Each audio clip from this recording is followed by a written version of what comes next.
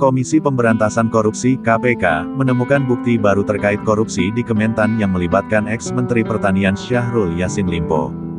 Dalam pemeriksaan yang dilakukan KPK terhadap Syahrul Yassin Limpo didapati informasi bahwa, uang hasil korupsi yang dilakukan ex-Mentan mengalir ke Partai Nasdem.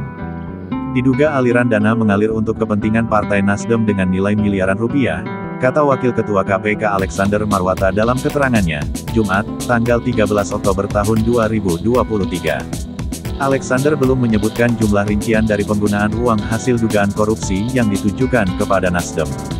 Dia mengatakan penyidik terus mendalami kasus ini. KPK akan terus mendalami, kata dia. KPK akan terus menelusuri dan mendalami gratifikasi yang diterima Syahrul Yassin Limpo bersama-sama KS dan MH sekitar 13,9 miliar rupiah.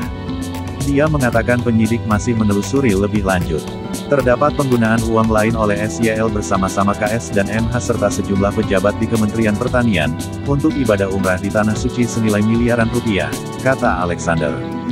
Dalam kasus ini, Syahrul, Kasdi, dan Hatta telah ditetapkan sebagai tersangka. Ketiganya ditahan selama 20 hari ke depan. Dikenakan pasal 12 huruf E dan 12 BUU Tipikor.